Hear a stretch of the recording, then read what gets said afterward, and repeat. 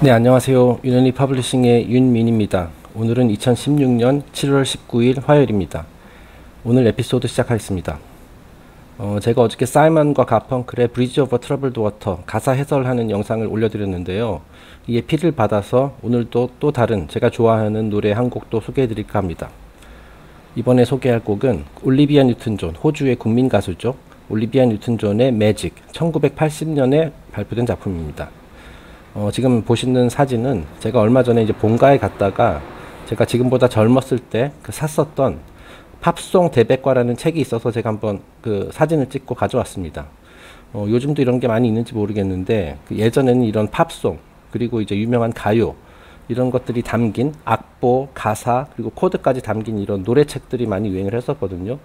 어, 저도 젊었 지금보다 젊었던 시절에 이런 책들 굉장히 많았던 걸로 기억을 하는데 지금 남아 있는 것은 요거 하나 한 권밖에 없는 것 같습니다. 네. 자 그래서 지금 이 책 표지에 있는 아가씨가 이제 올리비아 뉴튼 존이죠. 네, 굉장히 예쁩니다. 네.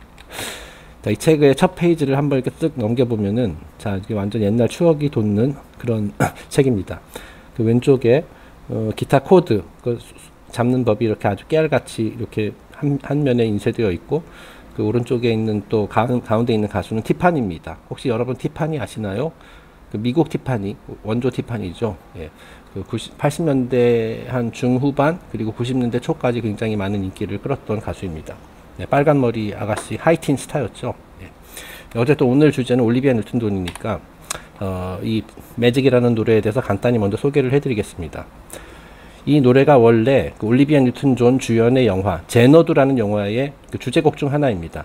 그 영화에서도 실제 그 잠깐 이 Magic이라는 노래가 잠깐 나오고요. 그 영화 자체는 이 영화도 이제 그 1980년에 나왔죠. 어, 영화 자체는 망했습니다. 상업적으로. 혹시 보신 분들 계신지 모르겠는데 어, 저도 이 영화 봤거든요. 어, 뭐 굉장히 좋은 메시지가 담겨 있는 어찌 보면 약간 영적인 교훈도 담겨 있는 그런 영화이지만 이렇게 제작이 이렇게 잘 되진 않았어요. 예, 그나마 올리비아 뉴튼 존 팬들이 아마 많이 봐줘서 본전을 뽑은 것인지도 모르겠습니다. 자, 이, 그 당시 그 이 영화가 얼마나 좀 악명이 높았냐면 이 영화 때문에 올해 최악의 영화를 뽑는 Golden Raspberry Awards라는 게 생겨났대요. 그래서 제1회 Golden Raspberry Awards에서 어, 이 제너두가 그 최악의 디렉터 부문 1위를 차지했다고 합니다. 그리고 다른 부문 6개, 6개 부문 후보에도 올랐을 정도로 좀, 예, 상업적으로는 많이 실패를 했고, 뭐 예술적인 측면에서도 좀 약간 유치하거든요. 예. 그, 뭐 연기는 제가 뭐 영화 전문가는 아니라서 잘 모르겠습니다만은, 저 같은 경우는 올리비아 뉴튼 존 가수를 개인적으로 좋아해서 이제 봤습니다. 뭐 한 번쯤은 볼만하다고 저는 생각을 해요. 그리고 지금은 어 이제 컬트의 명작으로 나름대로 자리를 잡았죠. 자, 어쨌든 영화는 실패했지만 어, 이 영화와 함께 발매된 그 사운드 트랙, 사운드 트랙은 그 매직 이번에 소개하는 곡 Magic하고 어 제너두 타이틀곡 어, 이 두 개의 히트곡을 냈죠. 그 이외에도 이제 뭐 기타 히트곡들이 있습니다만은 올리비아 뉴튼 존이 부른 이 매직 같은 경우 미국 빌보드 차트에서 무려 4주간 1위를 차지했었고요. 어, 타이틀곡 제너두는 어, 역시 톱 10을 기록을 했습니다. 어, 사실 이것도 굉장히 좋은 곡인데 뭐 8위 이상을 할 만한 곡이라고 생각을 하는데 어쨌든 8위까지밖에 못했네요. 이 영화의 그 간단한 줄거리를 설명드리자면은 그 올리비아 뉴튼 존이 그 예술가가 되고 싶어하는 남자 주인공에게 이런 예술적 영감을 불어넣는 뮤즈 역할을 맡습니다.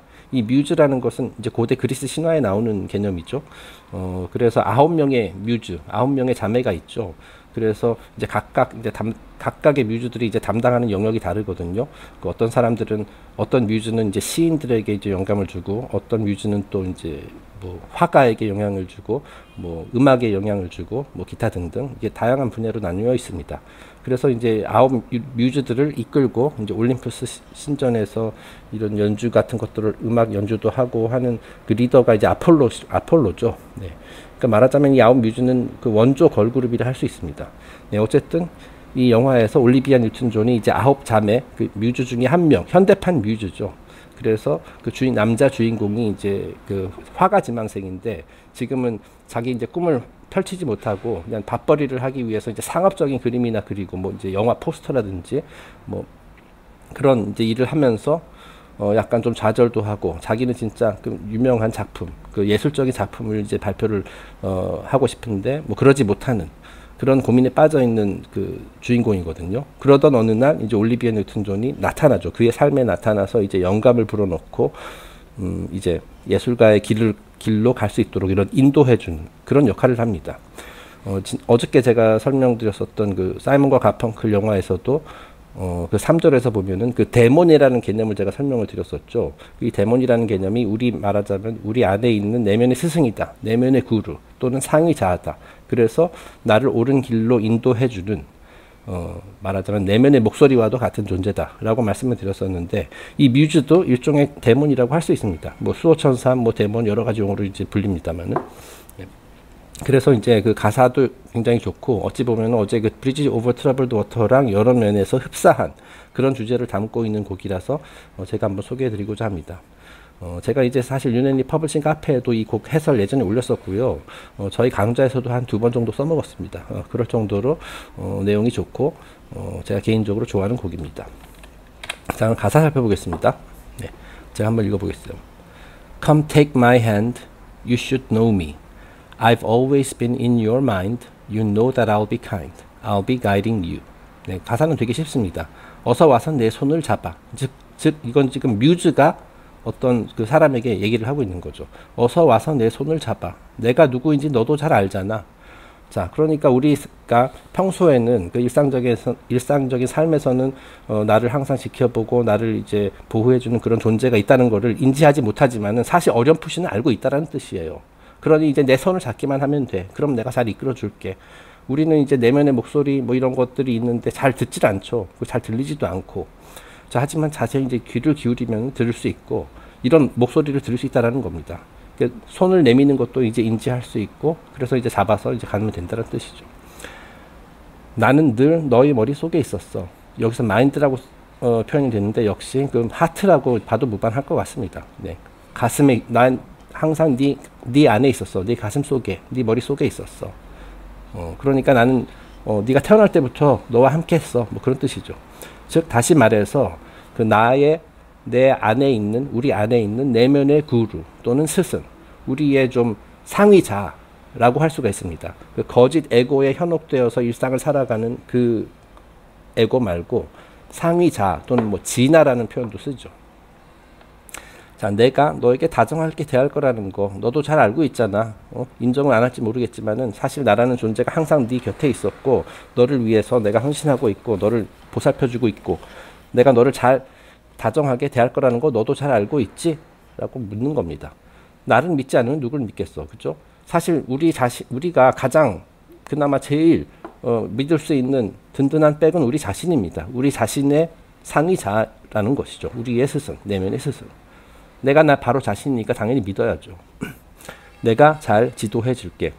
어, 지도라는 표현을 썼는데 말하자면 내가 잘 이끌어 줄게. 네가 이제 위험한 곳으로 빠지지 않고 그 올바른 길로 갈 수 있도록 너의 목표를 향해서 삶의 목표를 향해서 어, 물론 이제 중간에 잠깐 새길로 빠질 수는 있지만은 그리고 이제 그 속도는 어, 사람마다 다를 수 있지만 내가 어쨌든 올바른 방향으로 가도록 내가 잘 지도해 줄게 라고 이렇게 뮤즈가 어, 주인공에게 말을 거는 거죠. Building your dream has to start now. There's no other road to take. You won't make a mistake. I'll be guiding you. 자, 꿈을 설계한다는 거. 자, 우리 누구나 다 꿈을 가지고 있죠. 이 영화의 주인공도 남자 주인공도 그 뛰어난 예술가가 되고 싶다는 꿈을 가지고 있어요. 하지만 그 꿈을 실현에 옮기지 못하죠. 왜냐하면 먹고 사는 것도 바쁘고 뭐, 뭐 잠깐 자신감도 안 생기고 좌절하고 뭐 이런 것들 때문에 자, 그래서 뮤즈가 나타나서 얘기를 하는 겁니다. 꿈을 설계한다는 거. 지금부터 시작해야 해. 자, 어, 예를 들어서 내년 몇 월 며칠부터 하는 게 아니라 뭐 5년 후부터 한다는 게 아니라 어차피 우리 모든 모든 인간은 그 꿈을 향해서 우리의 목적지 최종 목적지를 향해서 가야 되거든요. 자, 그러니까 지금부터 시작하자.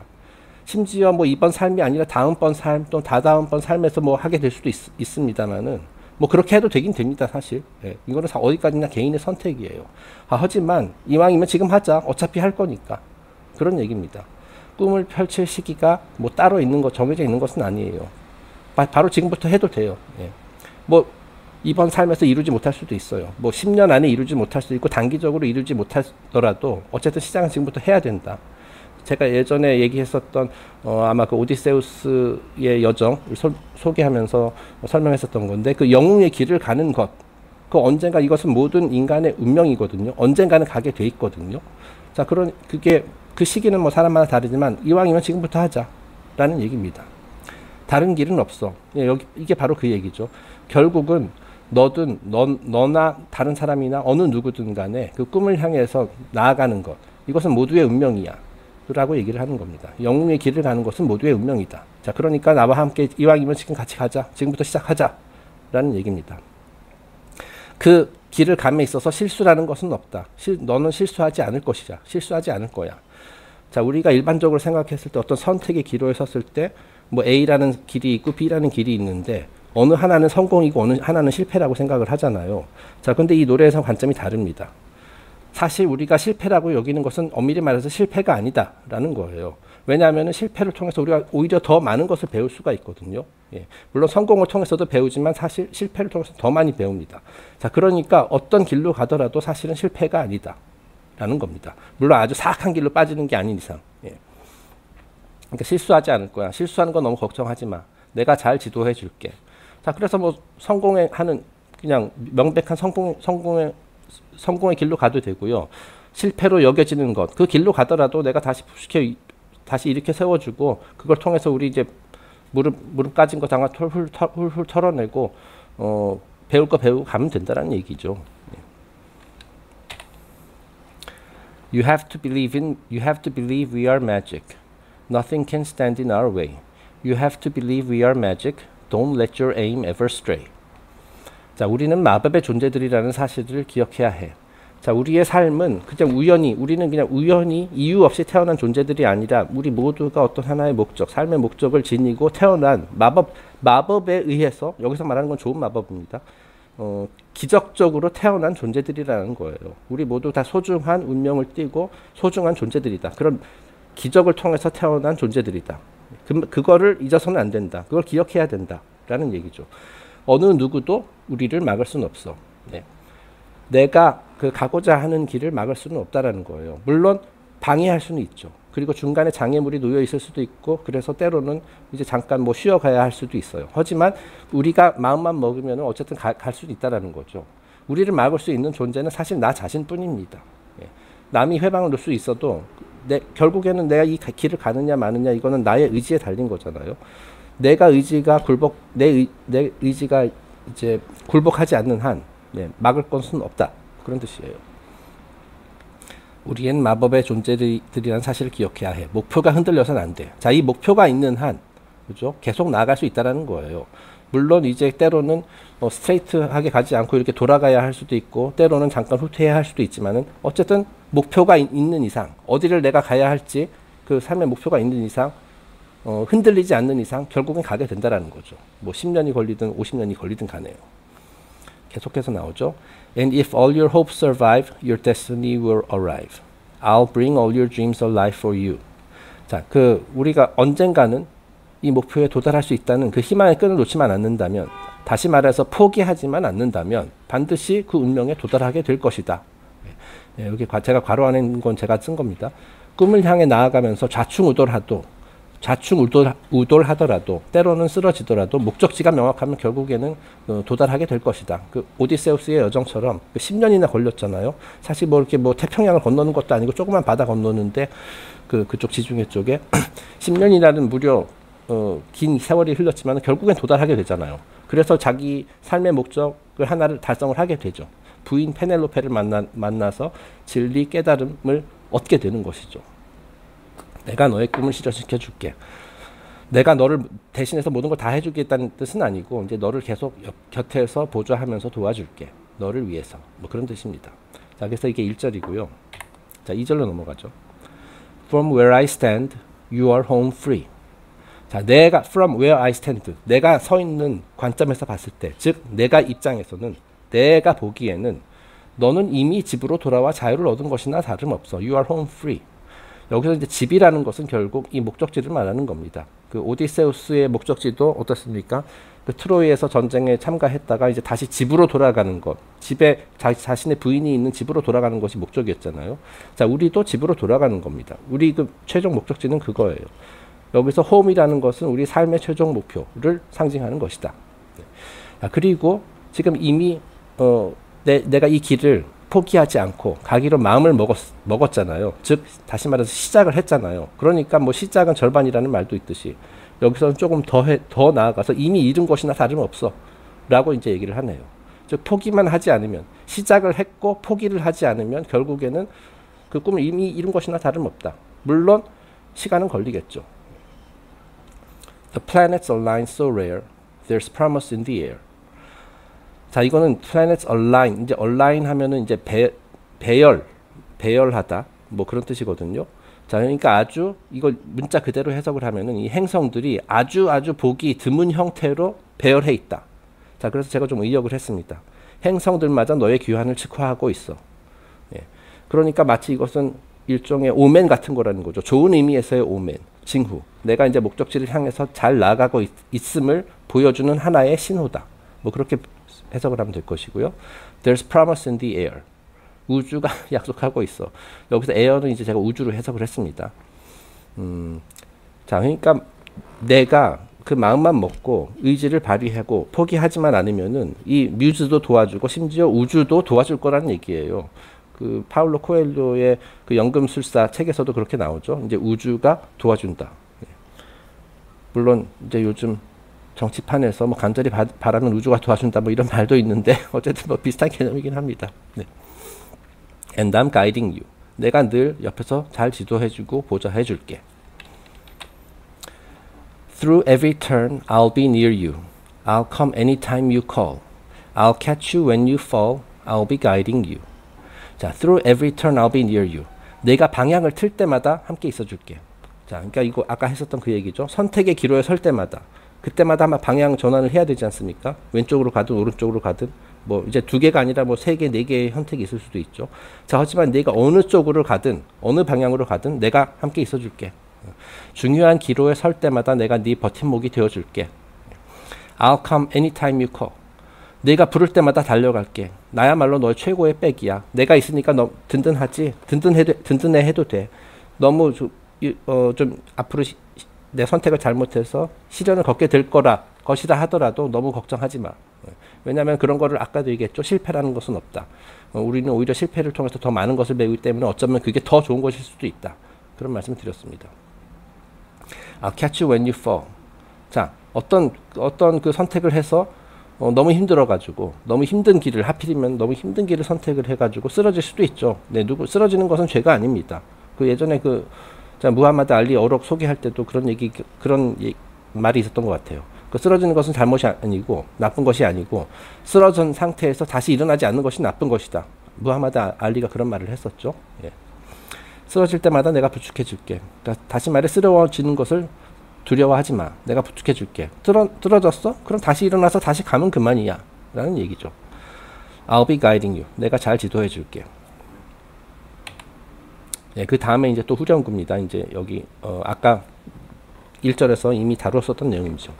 자, 그래서 이제 뭐 그 다음에 이제 뭐 비슷한 내용이 이제 또 반복되고 그렇습니다만은.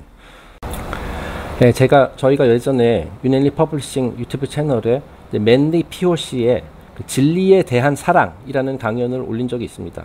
혹시 보신 분들 계실지 모르겠는데요. 어, 거기 보면 맨니 피올씨가 서기 5세기 그 로마에서 살았던 그 보에티우스라는 철학자를 소개합니다. 이 철학자가 어, 처, 옥중에서 그, 어, 그 당시 이제 이단으로 몰려가지고 이제 사형 선고를 받았거든요. 그래서 이제 차가운 감옥에서 어, 자기 사형 집행되는 날만을 이렇게 기다리면서 이제 뭐 명상도 하고 자는 지난, 지난 삶을 도도, 되돌아보고 이제 철학적으로 사색도 하고 그러면서 이제 철학의 위안이라는 그 유작을 남겼거든요. 그러니까 옥중에서 이제 집필한 그 굉장히 명작이죠. 그런데 그 책에 보면은 이 보에티우스가 이제 쓸쓸히 이제 감옥에서 그 철학적 사색을 하고 있는 동안에 갑자기 어떤 여신이 나타났다고 합니다. 그래서 그 여신들 진리 또는 이제 철학이라고 이제 부르는데요. 그 여신이 다가와서 그렇게 얘기를 하죠. 내가 그동안 한평생 나를 섬겼으니 이제는 내가 너를 섬기겠다. 그리고 너의 그 삶이 다하는 날까지 내가 네 곁에서 지켜주겠다. 내가 그동안 진리를 어, 포기하지 않고 한평생 동안 나를 섬겼으니 내가 이제 내가 궁금했었던 것들, 내가 철학적으로 이제 어, 궁금했었던 것들, 어, 진리, 우주적 진리 이런 것들을 내가 나에게 다 가르쳐 주겠다. 그래서 너의 소원을 풀어주겠다. 라고 이제 그 대화를 나누는 장면이 나오죠. 그 어떻게 보면 그 보에티우스가 있었던 그 감옥에서 나타난 그 여신, 뭐 여신이라고 표현을 했습니다만은 진리, 철학 이것도 일종의 뮤즈 또는 이제 데몬이라고 할 수가 있어요. 어쨌든 제가 매직 가사를 이제 설명하다 보니까 이제 그 생각이 나더라고요. 네, 그래서 여러분들께서도 그 이런 점을 항상 그 기억을 하시고 나, 나, 내 곁에도 내가 진짜 포기하지 않고 의지를 계속해서 발휘해서 목표를 올바른 목표를 향해서 계속해서 나아가면 그런 존재가 보이지 않게 나는 인식하지 못할더라도 곁에서 계속 도움을 준다. 그리고 이제 내가 부르면 진짜로 뭐 보에티우스처럼 이렇게 깊은 사색에 잠겨서 어 진짜 진심된 마음, 진실된 마음으로 이렇게 구하면 어 진짜 이런 도움을 받을 수 있는 모양입니다. 네. 자, 이거 어디까지나 뭐 뭐 진짜로 어떤 존재가 뭐 기적처럼 나타나서 뭐 한다는 그런 의미는 아니고요. 예. 무슨 의미인지 아실 겁니다. 힘을 얻게 된다라는 거죠. 네, 이상으로 오늘 어, 에피소드 여기서 마치도록 하겠습니다. 제가 좀 설명 잘했는지 모르겠습니다. 어쨌든 또 내일 또 뵙겠습니다. 감사합니다.